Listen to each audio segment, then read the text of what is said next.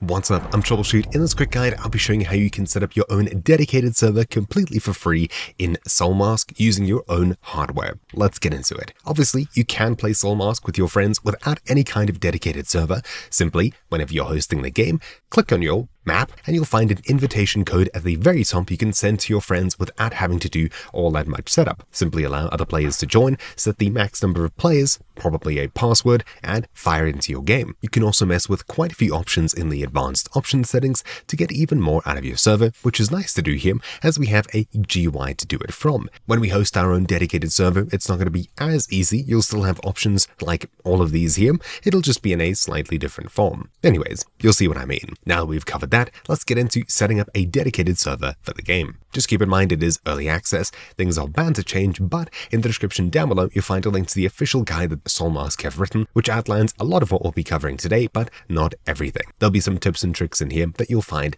definitely very useful. Let's get into it. Alright, so first of all, you're not able to download the Soulmask dedicated server on Steam by just searching for it and checking your library like you are some other dedicated servers, such as all of these ones over here, for example example. For this, we'll need to use Steam CMD, another tool from Valve themselves, officially, that allows you to download this dedicated server, among many other things on Steam. In order to get it, click the link down below, which should be a direct download to steamcmd.zip. You'll also find a link to the official Valve Steam CMD page if you'd like to learn about what exactly this tool does. The download link is also right over here. It's the small number one. Anyways, let's open the zip and extract it somewhere, like a folder on our desktop. Don't worry, the wallpaper didn't just change. Anyways, making a folder here, I'll call it, let's see, Soulmask server and I'll place Steam CMD in this folder, just like that. Now, in order to download our server, we'll need to run a command, but in order to update it in the future and keep it updated, we'll need to run the same command. For that reason, I'll be creating a new bat file, so new text document, highlighting everything, including .txt, and we'll call it soulmask update.bat. As such, we'll click yes when it prompts us for a name change, and we'll open this with any text editor such as Notepad. If you're not able to rename it and remove the .txt, and the file type doesn't change, click view at the very top, followed by show, and make sure file name extensions and hidden items are both ticked. On Windows 10, there'll be a view tab in the ribbon at the very top, and the same buttons on the far right. Anyways, once you've renamed this file and opened it, simply look in the description down below for this line over here, Steam CMD, login anonymous, app update 301 7310, which is the Soulmask dedicated server ID, validate plus quit. All we need to do now is run the bat file and it'll start Steam CMD that should first of all download a couple of different files and then shortly after once it's done downloading all of these files, it'll start downloading the actual server files themselves. This could take a while depending on the speed of your internet. When it's done downloading, you'll find it in the Steam apps folder here, followed by common and Soulmask dedicated server for Windows. There we go. The window will suddenly close, and now we've got our server downloaded into this folder here. In this folder, you'll find a start server.bat file, and in this is the command required to actually start your server using the program here. There's nothing we need to do, just launch start server.bat and your server should immediately begin. So there we go. A window flashes, the server starts and opens up in a window like this. There we go, our server should be running at this point. What you'll want to do now is quit your server so we can start customizing it now that it's initialized. The official wiki for setting up a dedicated server, which we've been following thus far, tells us to use Telnet in order to shut down our server. This tool should be included with most Windows systems, and in order to safely shut it down, we'll be using these two commands here. So, opening up a new command prompt or terminal window, we'll be typing in telnet 127001 as such, space 1 followed by 4 eighths, and we'll hit enter. This should then connect to our server, and we can type help to interact with the server. So for example, save world to save our server, or any of the above options in order to close our server after a specified amount of time. This save and exits the game, so we shouldn't need to run save world separately. Anyways, what we'll do is run quit, followed by 180 as they suggest, and they should get our world to save and close, I would think within 3 minutes. You could probably use a much shorter number here in order to get it to save and quit faster. Anyways, once that's done, we can get to customizing our server. In order to customize your server, we'll need to copy this startserver.bat file, paste it in the same folder, and we'll be renaming this to start whatever your server's name is. So I'll just say TroubleChute's server as such, and we'll open this with a text editor. Then inside of here, we'll replace the line that says start server with call followed by the name of the original file. So start server.bat as such. Then we'll need to add some things to the end of this line over here in order to customize our server. So for example, we can set our Steam server name to whatever we want inside of quotes here. So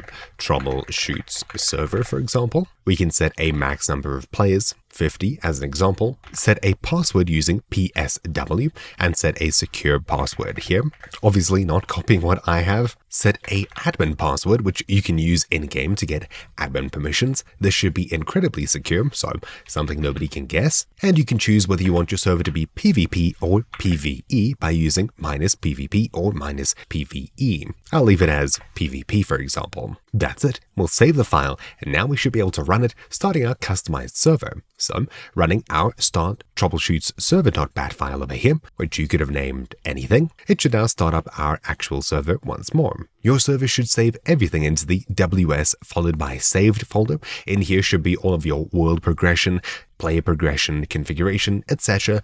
This is the folder you should make sure you have backed up, especially if you're going to be moving your server or anything like that. Anyways, once our server's started, we should be able to actually go ahead and join it. You'll find thousands of other startup options on the official wiki page, which once again you'll find down below. And also some information on setting up your server. If you're going to be using Steam CMD on Linux instead, it uses a slightly different number and slightly different startup technique. Anyways, besides that, we have the engine.ini file in WS saved, config, Windows Server or Linux Server, and you should find an engine.ini file. If you don't and you'd like to customize your server's ports and things like that, you can create a new text document, once again renaming everything to engine.ini, and inside of here, you can copy and paste in this section over here, which tells us what port and query port our server will be using, choosing PvP, max players, or setting a name for the server, which should be overwritten by whatever we have set up in our start options, but should you choose to add this engine.ini file and customize options in here,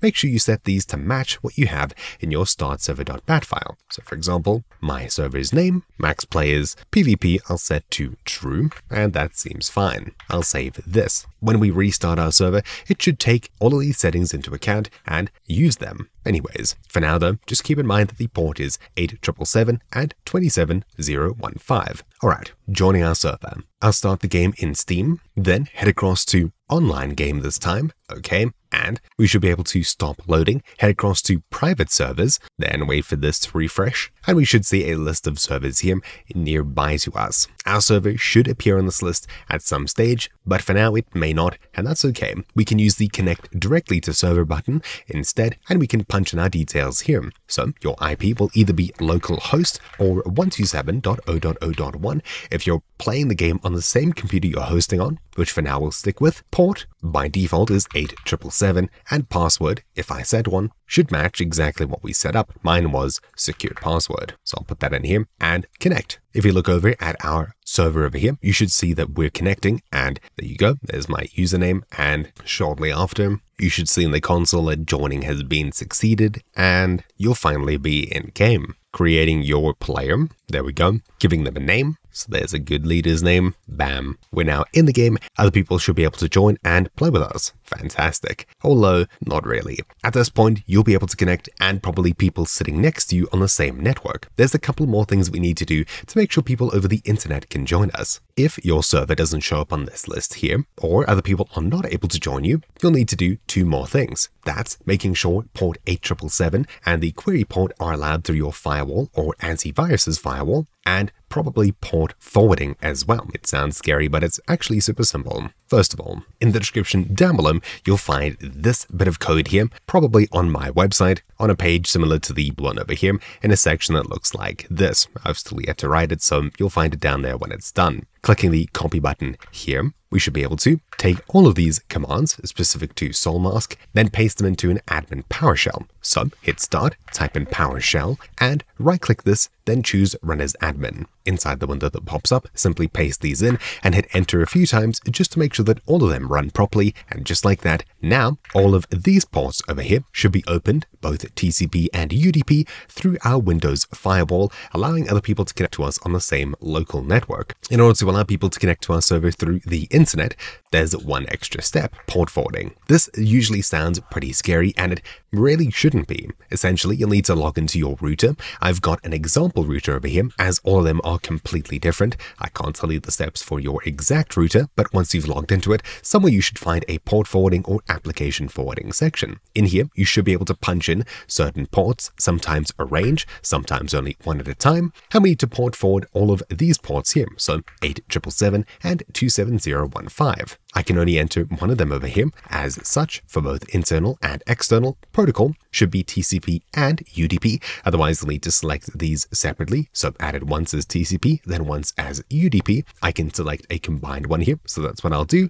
And finally, a local IP. This is the IP address of your computer. To find that out, open up a new terminal and run ipconfig. Hit enter, then find the way that you're connected to the internet. In my case, it's Ethernet. And you can see my IP address is 192.168.150. Therefore, what I'll be typing in here should just be 50 as it's already got the first few numbers filled in. Then I'll click add new and just like that, I've now port forwarded one of the two ports that we need to do. Let's do the other one, 27015. I'll copy this into both the internal and external, TCP and UDP. Once again, 50 and add. There we go. Now we successfully port forwarded our server. That's it. If you have multiple routers between you and the internet, you'll need to port forward at each hop. So the router that you're connected to will need to point to your computer. The router that that one's connected to will need to point to the next router along in the chain, all the way pointing towards your computer that's hosting the server. That's it. If you're confused, you will find further information down below as I've got much more detailed guides on port forwarding. Anyways, running your server once more, so